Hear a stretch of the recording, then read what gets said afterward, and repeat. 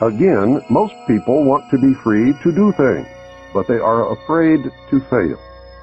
The fear of failure is manifested in irresponsibility, and especially in delegating those personal responsibilities to others where success is uncertain or carries possible or created liabilities which the person is not prepared to accept. They want authority, but they will not accept responsibility or liability. So they hire politicians to face reality for them.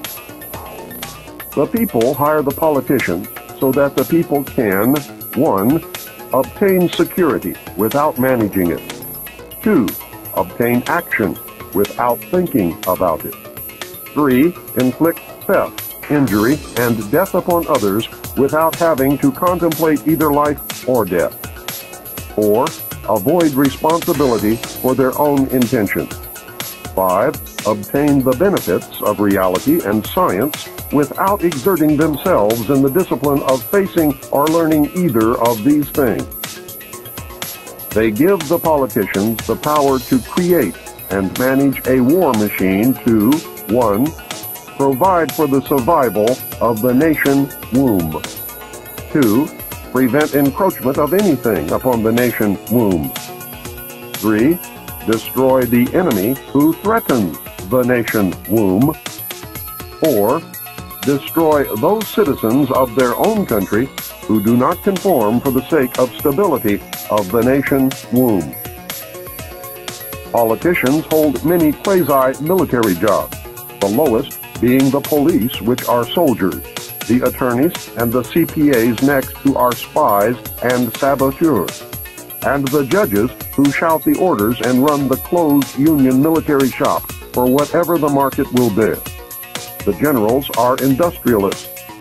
The presidential level of commander-in-chief is shared by the international bankers. The people know that they have created this farce and financed it with their own taxes, but they would rather knuckle under than be the hypocrite. Thus, a nation becomes divided into two very distinct parts, a docile subnation and a political subnation.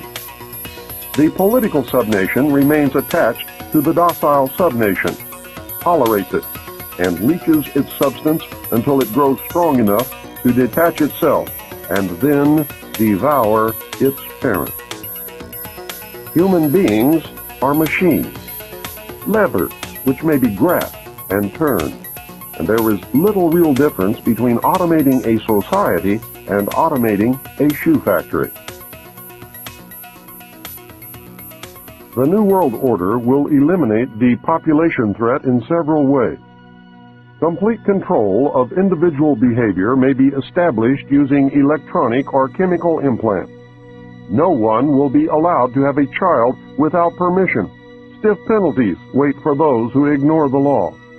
The violent, the old, the infirm, the handicapped, and the unproductive will be killed.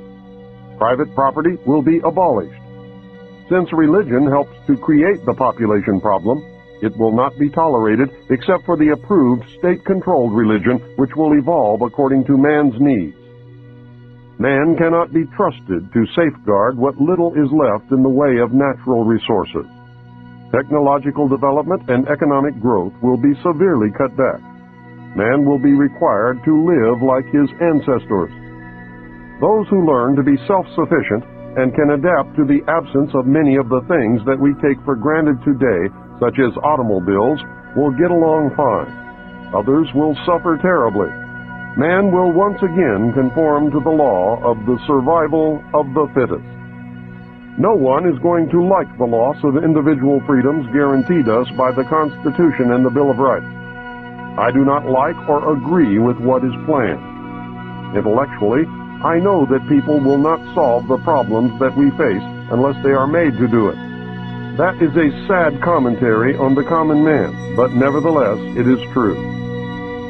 We must learn to accept individual responsibility for the world's problems or be willing to live by the terms of those who do. We must learn to love one another, share, deplore violence, and work with nature, not against it. Can you imagine what will happen if Los Angeles is hit with a 9.0 quake? New York City is destroyed by a terrorist planted atomic bomb. World War III breaks out in the Middle East. The banks and the stock markets collapse. Food disappears from the markets. Some people disappear. The Messiah presents himself to the world, and all in a very short period of time. Can you imagine? The world power structure can and will, if necessary, make some or all of those things happen to bring about the New World Order. When asked what was in store for the world in the coming years, Henry Kissinger said this Everything is going to be different. Many will suffer. A new world order will emerge. It will be a much better world for those who survive. In the long run, life will be better. The world we have wanted will be reality. A symposium was held in 1957 which was attended by some of the great scientific minds then living. They reached the conclusion that by or shortly after the year 2000, the planet would self-destruct due to increased population and man's exploitation of the environment without any help from God or the alien. By secret executive order of President Eisenhower, the Jason scholars were ordered to study this scenario and make recommendations from their findings. The Jason Society confirmed the findings of the scientists and made three recommendations called Alternatives 1, 2, and 3. Alternative 1 was to use nuclear devices to blast holes in the stratosphere from which the heat and pollution could escape into space. They would then change the human cultures from that of exploitation into cultures of environmental protection. Of the three, this was decided to be the least likely to succeed due to the inherent nature of man and the additional damage the nuclear explosions would themselves create. The existence of a hole in the ozone layer may indicate that Alternative 1 might have been attempted. This is, however, only conjecture. Alternative 2 was to build a vast network of underground cities and tunnels in which a select representation of all cultures and occupations could survive and carry on the human race. The rest of humanity would be left to fend for themselves on the surface of the planet. We know that these facilities have been built and are ready and waiting for the chosen few to be notified. Alternative 3 was to exploit the alien and conventional technology in order for a select few to leave the Earth and establish colonies in outer space. I am not able to either confirm or deny the existence of batch consignments of human slaves, which would be used for the manual labor as a part of the plan. The moon, codenamed Adam, was the object of primary interest, followed by the planet Mars, codenamed Eve. I am now in possession of official NASA photographs of one of the moon bases. I believe that the Mars colony is also a reality. As a delaying action, all three alternatives included birth control, sterilization, and the introduction of deadly microbes to control or slow the growth of the Earth's population. AIDS is only one result of these plans. It was decided by the elite that since the population must be reduced and controlled, it would be in the best interest of the human race to rid ourselves of the undesirable elements of our society. Specific targeted populations included blacks, Hispanics, and homosexuals. The joint United States and Soviet leadership dismissed Alternative 1 but ordered work to begin on Alternatives 2 and 3 virtually at the same time. In 1959, the RAND Corporation hosted a deep underground construction symposium.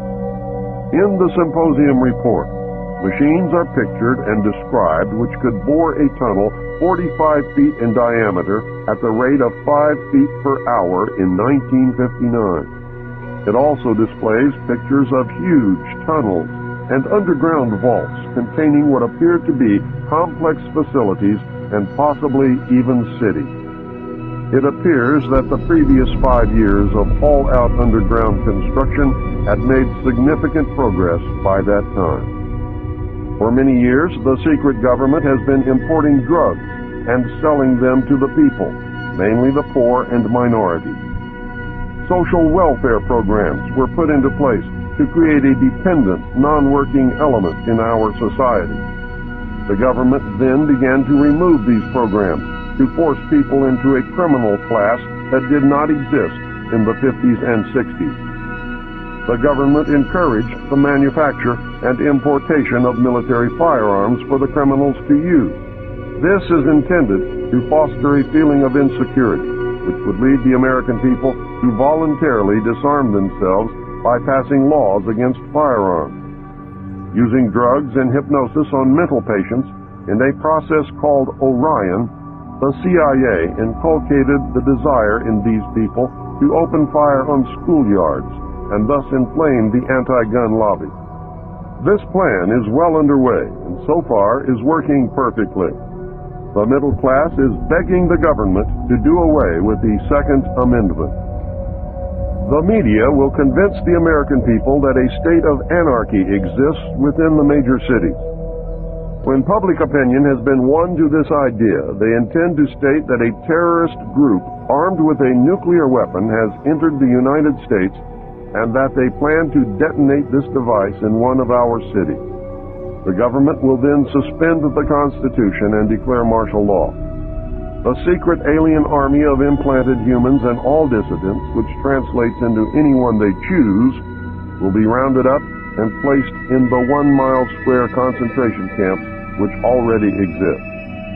Are the people whom they intend to place in these concentration camps destined to make up the reported batch consignments of slave labor needed by the space colonies?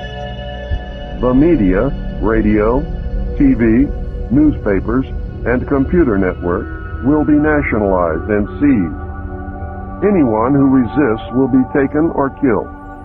This entire operation was rehearsed by the government and military in 1984 under the code name Rex 84 Alpha, and it went off without a hitch. When these events have transpired, the secret government takeover will be complete. Your freedom will never be returned and you will live in slavery for the remainder of your life. You had better wake up, and you had better do it now. The most important information that you need to determine your future actions is that this New World Order calls for the destruction of the sovereignty of nations, including the United States. The New World Order cannot and will not allow our Constitution to continue to exist. The New World Order will be a totalitarian socialist system. We will be slaves shackled to a cashless system of economic control.